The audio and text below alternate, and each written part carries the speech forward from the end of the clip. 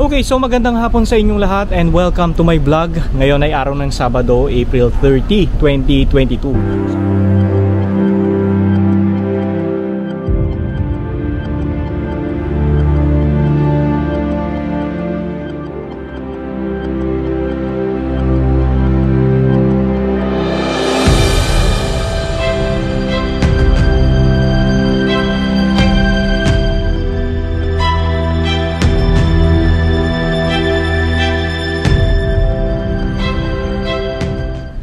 Araw ng Sabado, punta tayo ng FTI. I-update nga natin itong uh, Arca South. Kasi last time na galing tayo doon, kung di ako nagkakamali, June or July last year ng 2021. Ano? So tingnan natin kung ano na yung mga changes dito sa ginagawang Arca South na dating FTI. Ayan, so bago yan, gusto ko munang ibahagi muli sa inyo ang mini history ng FTI. And doon sa mga nakapanood na pwede nyo namang skip na lang pero doon sa mga bago lamang at hindi pa ito napanood, panoorin nyo to.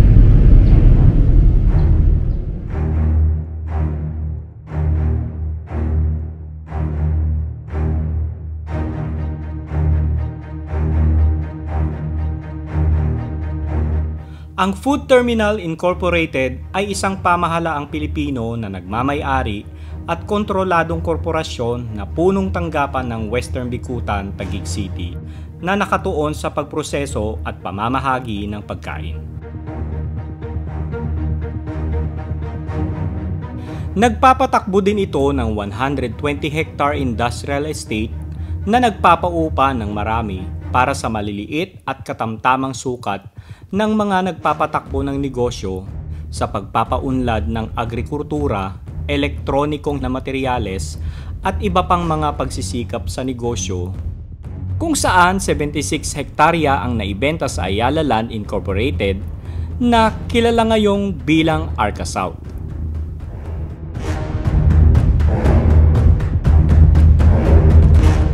Ito ay isang prioridad na proyekto noon ng Pangulo ng Pilipinas na si Ferdinand Marcos na baguhin ang revolusyon sa sektor ng agrikultura ng bansa at magtatag ng isang sentro ng pagpapatatag ng pagkain.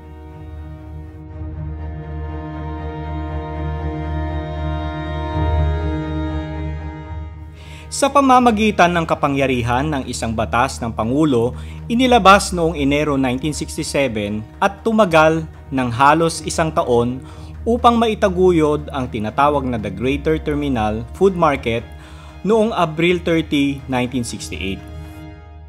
Gayunpaman, ang estate ay pinalitan ng pangalan na FTI, Food Terminal Incorporated, noong Marso 27, 1974. Ang mga pangunahing aktibidad ng kumpanya ay kasama ang warehousing, pagproseso ng pagkain, pagsasaliksik at kontrol sa kalidad, mga serbisyo sa marketing at pangangalakal. Noong Abril 1979, kinuha ng Human Settlement Development Corporation ang pagmamayari at pamamahala ng kumpanya. Ang FTI ay naging pangunahing ahensya ng subsidiary ng National Food Authority.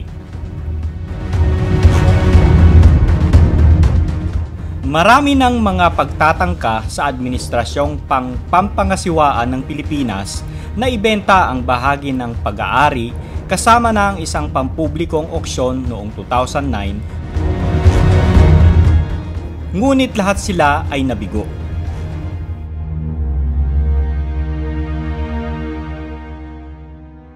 Noong panahon ni President Benigno Aquino III, November 2012, inihayag ng gobyerno ng Pilipinas ang pagbibenta sa 74 hectares na 120 hectares ng FTI sa Ayala Land Incorporated sa halagang 24.3 bilyong piso ng Pilipinas. Plano ng Ayala na gawing mixed-use development ang pag-aari na kilala ngayong bilang Arca South.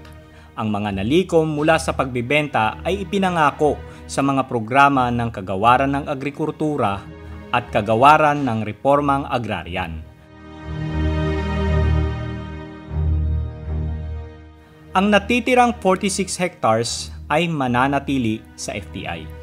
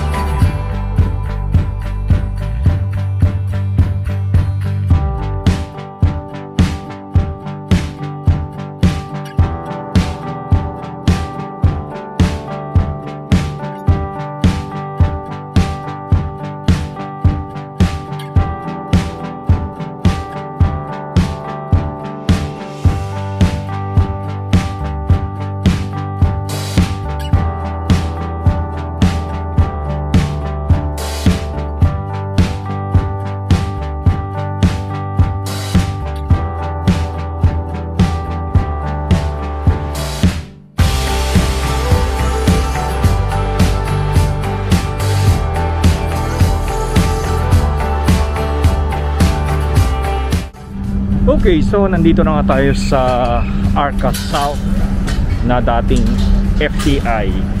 Ano? So dito sa likod natin, may nagsi-set up, meron yatang ano rito.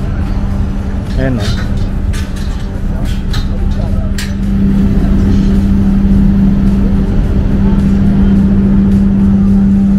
Ayan, may rally. Ayan, so napansin nyo, yung mga dinaanan natin talagang uh, ano no, uh, marami ng mga nakatayong building. Ayan. So siguro after one year, ayan, mas marami ng building dito sa Arca South. Ano? Tingnan natin yung ano, yung Ayala Mall na tinatayo dito.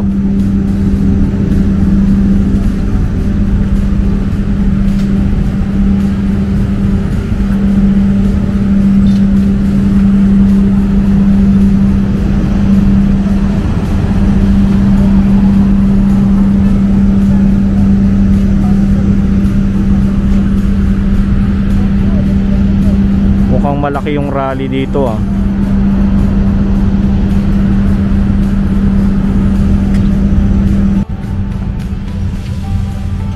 Okay, so ito yata yung ano, yung Ayala Malls na itinatayo ayan.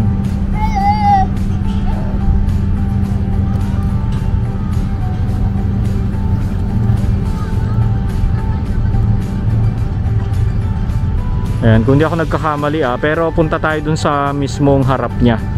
Doon, dun sa part na yon.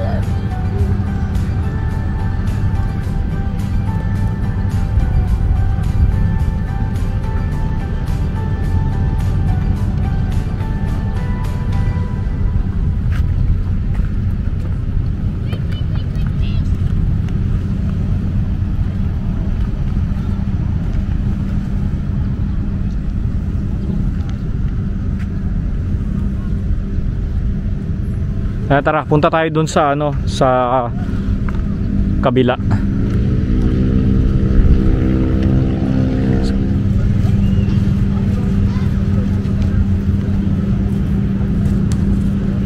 Ang laki na itong lugar na ito.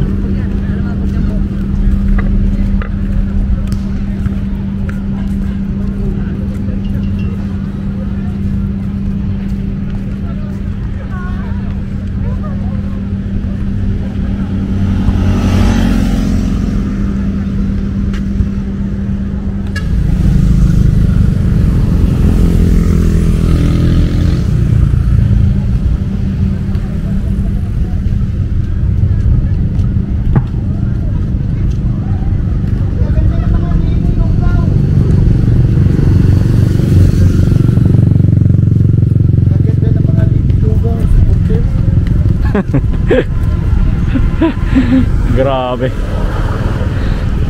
Kung makalugaw eh, no?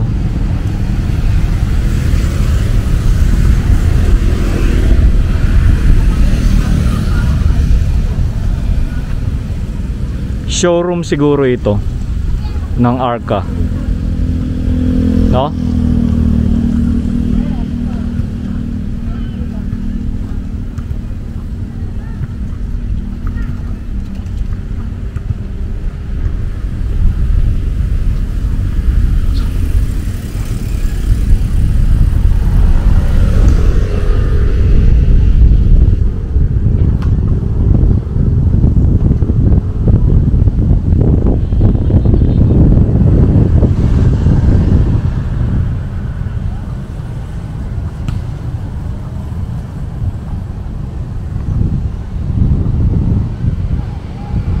Ito yata yun guys eh. Yung Ayala Malls. Hindi ako nagkakamali. Malalaman natin yan pagdating natin dun sa unahan.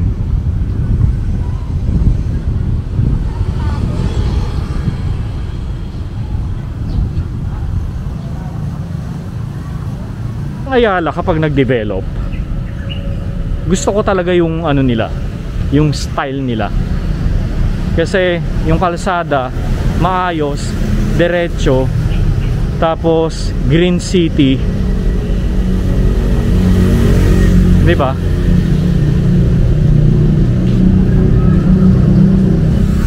Oo nga tama ako guys. Ito yung uh, Ayala Malls. Ayan. Yan ang hindi natin matanaw. Ayan o.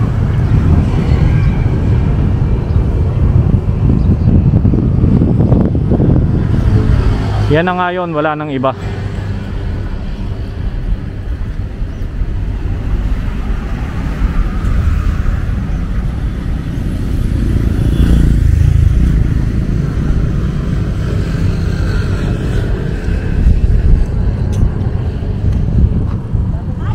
Oh, yan na nga. Ito na nga yun.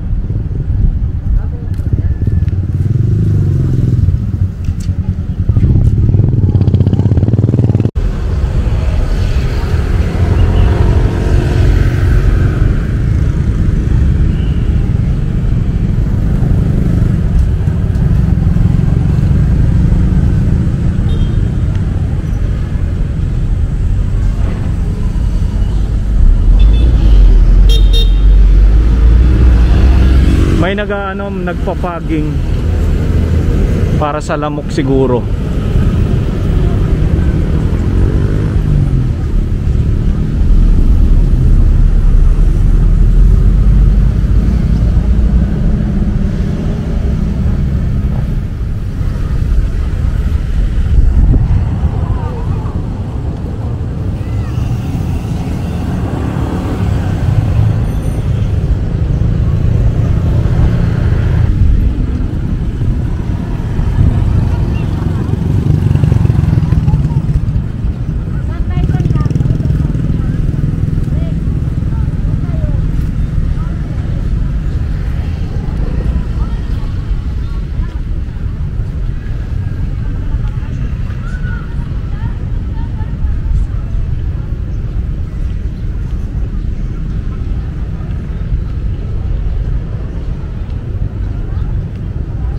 Ito ba yung Sunshine Mall? Hindi ako nagkakamali ah. Ito nga yata yun.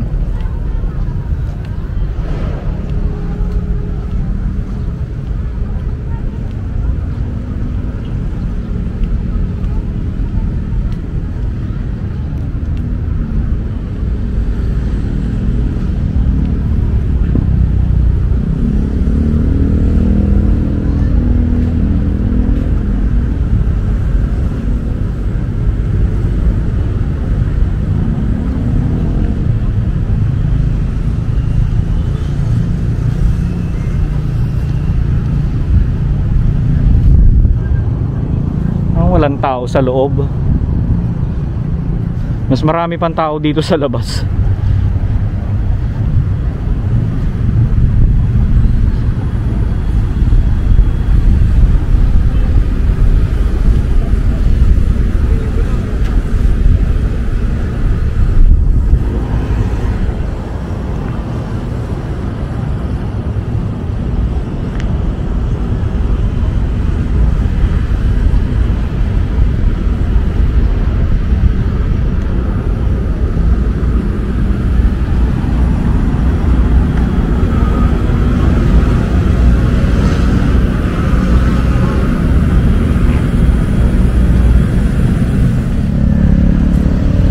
Eh nandito pa rin yung ano, yung bilihan ng mga halaman na yan oh.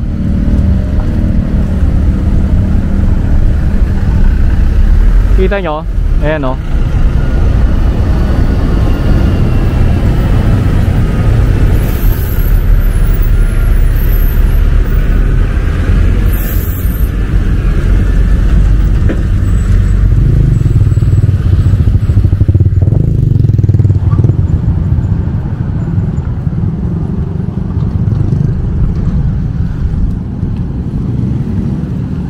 Nice no? So maganda pa ngayon kasi wala pa masyado nakatayong mga buildings. Pero kapag punong-puno na ito ng mga building, ayan. Wala na masyadong hangin. Ngayon kasi mahangin-hangin pa.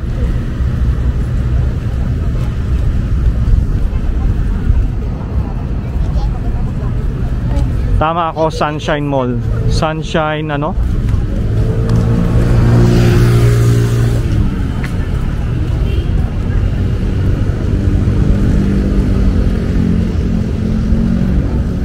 Tama, Sunshine Mall. Ayan o.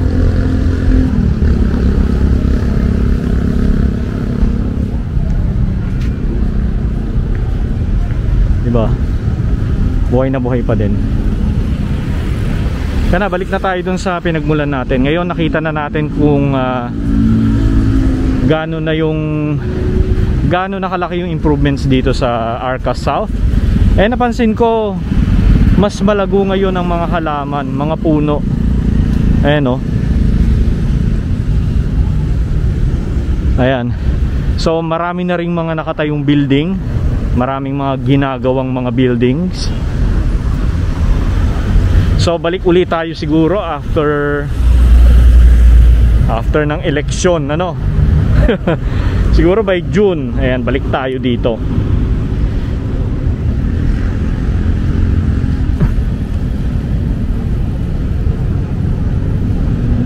So hindi ko na siya maiikot lahat kasi uh, padilim na. So hanggang dito lang yung kaya natin na maiikot. Ayan. So yung Ayala Mall, saya nakita naman natin ano, uh, ginagawa pa rin hanggang ngayon. Ina-expect ko nga mga ano eh, mga at least 60% na gawa na ang Ayala Malls pero hindi pa pala.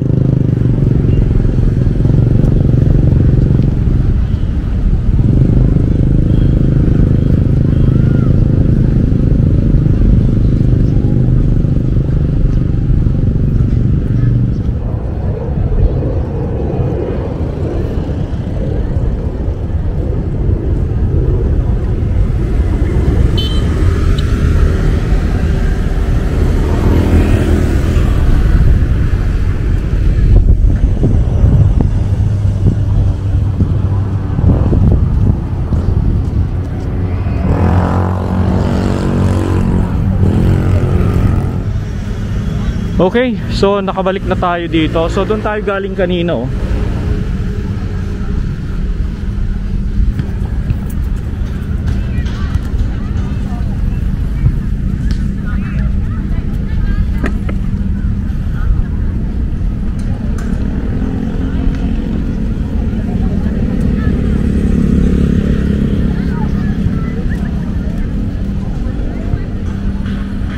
Tawid na tayo. So yung ano na yan guys, yung siniset up dyan, rally yan para bukas ng gabi. Balita ko kay ano daw eh. Asawa ni Peter Cayetano.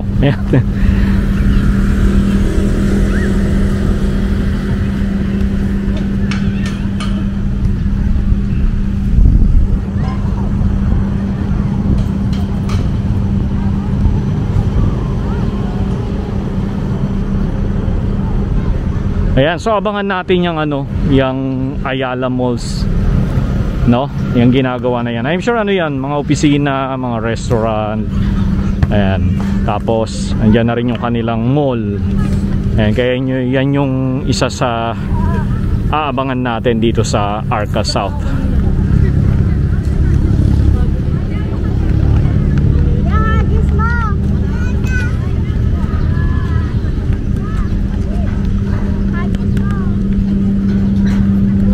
Mukhang malaki tong ano na to.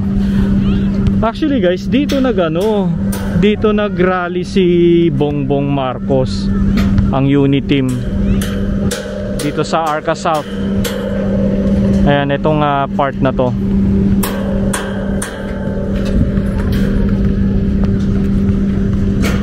Okay wala lang na-share ko lang